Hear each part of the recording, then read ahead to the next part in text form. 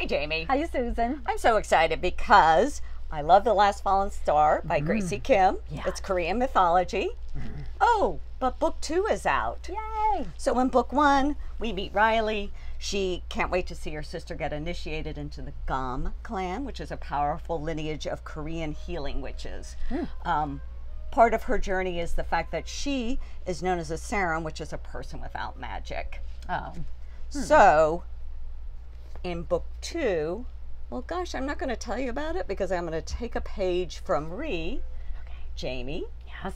Julie. I'm taking the day off so I can go read this book.